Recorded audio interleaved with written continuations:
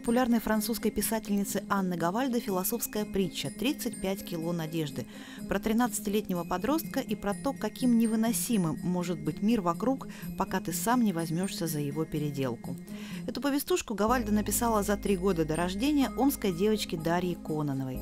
Сегодня 13-летняя Даша живет на окраине Омска, и в ней 35 кило надежды на то, что мечты ее сбудутся, а книги разлетятся по свету – ведь Даша писательница. Недавно вышел из печати сборник двух ее первых детективов «Тайна плюшевого мишки» и «Операция «Золотая панда». Я очень люблю запах типографских страниц. Люблю держать э, книги в руках. Это совершенно другое. Это как порталы в иные миры. Там есть философия, то есть это ну, никак не для моих сверстников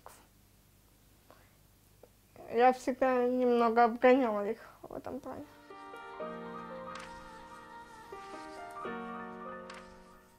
Дом. Наверное, единственное место, где от любви вырастают крылья. Место, где тебя любят даже стены. Дом – филиал рая в полуденном мире. По звонку мамы вышел Григорий, смуглый, темноволосый немец, лет сорока. Обняв как родную, дворецкий на руках занес меня в дом. То, что я увидела, заставило открыть рот. Проходы были расширены, по лестнице стекал пандус для инвалидной коляски, а все столы были опущены для моего удобства. «Ого!» – изумилась я. «А вы подготовились!» Конечно, чуть улыбнулась мама. После того, как я села в коляску с электроприводом и руками поставила ноги на подставки. Лерочка налетела на меня, хлюпающая тетя Сеня. Красавица наша, кушать будешь? Тетя Сенечка, я чуть позже, сейчас наверх поднимусь. И я поднялась. А там там Леська, Оська, Элька и Жабочка все разом налетели на меня с крепкими объятиями. На душе стало так тепло и умиротворенно, что захотелось петь. Петь не какой-нибудь Владимирский Централ, а позаимствовать голос у птицы из Эдемского сада и растянуть восхитительнейшую трель.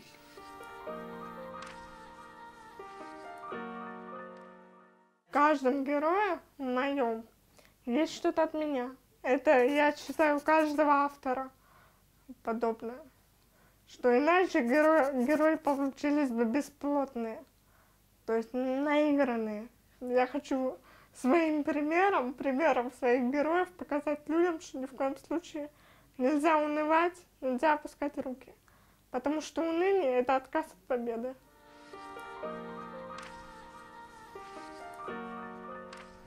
Я считаю, что смысл жизни в том, чтобы пройти испытания, которые возложены на нас высшими силами. Чем сложнее испытания, тем большего может добиться человек. Главное – выстоять. Но сколько людей, столько и мнений. С размышлениями моих близких на эту тему мы обязательно ознакомимся в будущем. Так сказать, посмотрим на мир их глазами.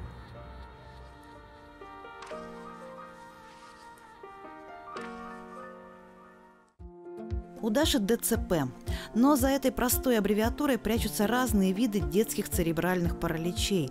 А вот какой именно у Даши и как с ним бороться, никто не знает, потому что ни разу в жизни ребенка как следует не обследовали. Она лежала у нас в больнице в ГНЦ, ну, для недоношенных деток. Три месяца она там пролежала, то есть три, три месяца я просто приходила так, виделась ее там, постою с ней чуть-чуть и уходила.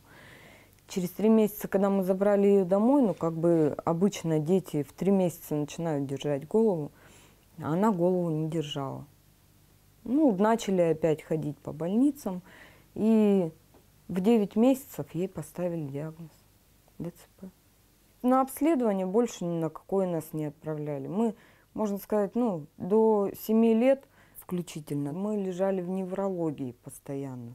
Ну, то есть там каждые полгода мы лежали, проходили курс, курс обкалывания. Один врач говорит, что вся проблема в шейном позвоночнике, ну, в шейном отделе позвоночника, так как когда я ее рожала, ее за голову потянули. Другой врач говорит, что все дело в голове, что у нее в голове не проходит импульс. То есть, ну, ногами-то она передвигает, она все чувствует, у нее нигде ничего не онемевшее, все она чувствует. Просто, что не проходит импульс. То есть она равновесие не держит. Ну, а кому верить? На что мне делать уклон? Мне больно за нее. И обидно, что она сидит дома.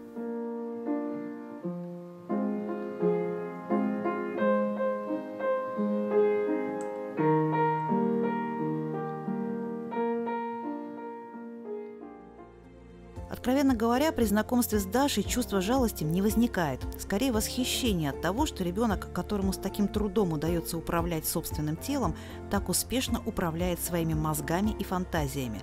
Возможно, Дашу в детстве поцеловала литературная фея или по какой-то другой причине. К восьми годам девочка обрела дар текста. Лет с восьми я живу не в этой реальности практически. Я постоянно в голове у себя что-то прокручиваю что-то как-то переначиваю, перестраиваю. То есть я практически не зацикливаюсь на том, что есть в реальности. Я практически не, а, не показываю этого, стараюсь, ну, это мое личное, внутреннее, ни родителям, ни кому-либо. Я это стараюсь не показывать. У каждого должно быть что-то, то, к чему он не должен никого подпускать. Иначе будет неправильно. Потому что мы это то, что мы скрываем. Наш особнячок находился в пригороде у моря. Ехать до туда напрямую из школы 15 минут, но из-за наших разъездов мы заявились домой через три часа. Трехэтажный дом с джакузи на крыше величественно омывала мягкая бирюзовая волна мы с девчонками внеслись внутрь, отдав ранцы дворецкому Григорию. Гувернантка Есения Арсеньевна носилась по кухне, успевая и проверять яблочный пирог в духовке и жарить котлеты. «Ой, девочки, здравствуйте!» – улыбнулась она. «Бегите переодеваться, потом будем кушать». «Спасибо, тетя Соня. Мы не голодны», – уверяла ее я. «А мама дома?» «Нет, Керочка, на репетиции. У них Жизель ставят», Неплохой балет, высказалась Милка. Я бы сходила. Ты слушаешь аудиокниги? Да, я очень люблю. А, если бы кто-то начитывал твою книгу, вот э, кто бы из известных, там, допустим, э, актеров это мог бы быть? Кому бы ты доверила? Михаил Назаренко. Это чтец, это литературный критик. Я читаю книги только в его начитке. Это единственный человек, которому я могла бы доверить читать свою книгу. По обычаю тех давних дней странник верхом на гипогрифе подъехал к бронзовым вратам града, обнесенного стеной. «Я столь многое слышал о вашем городе», — сказал он, оглядев местность. «Но даже одна десятая часть его чудес, — добавил он, следуя дивной и превосходной десятичной системе, не вместилась в рассказы. Честно сказать, я вообще не люблю читать книги. Это не мое. Потому что когда я начинаю читать книгу, я засыпаю. Все.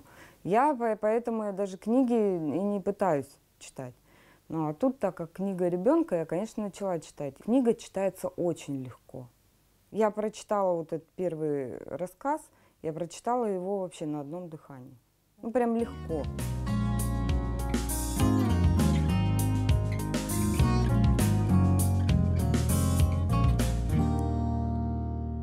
Я как, как мама, да, переживаю за то, чтобы она реализовала себя в жизни.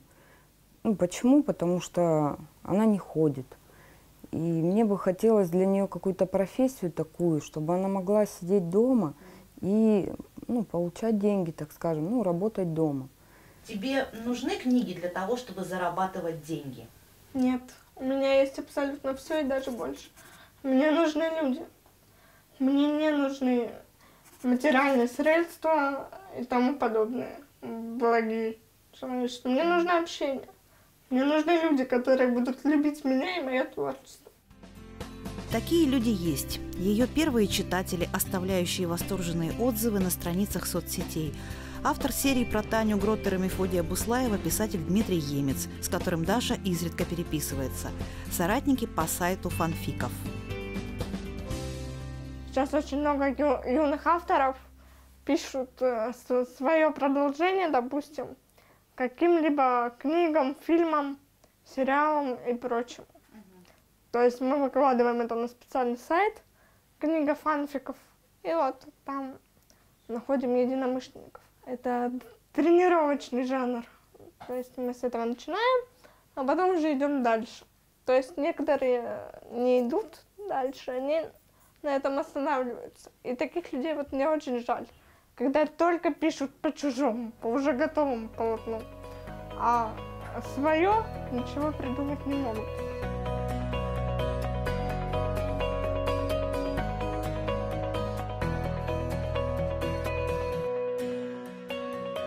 Они, конечно, нужны, я очень тяжело переживаю одиночество.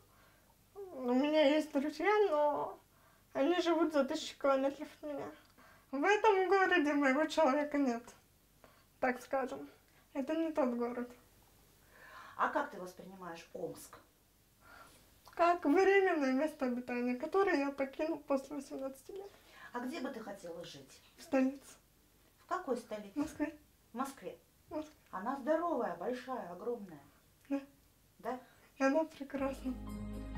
Сложно осуждать человека с ограниченными возможностями и безграничной фантазией за то, что он пытается покинуть Омск, в котором ему так некомфортно.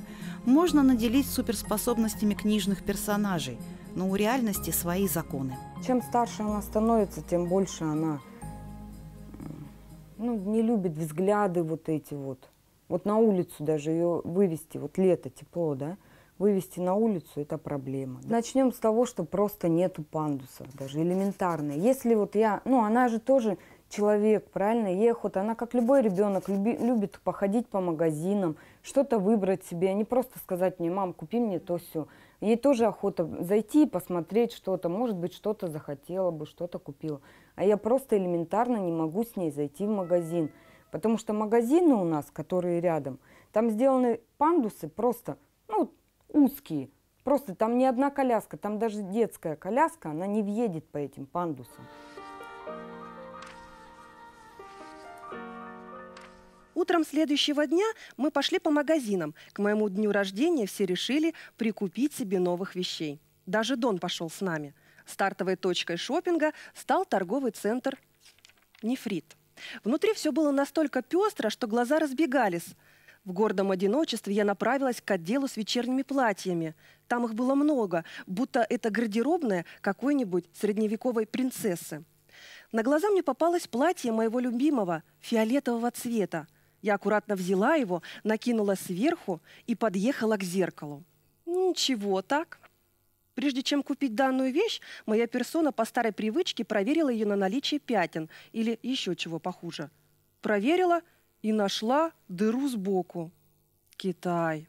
Китай.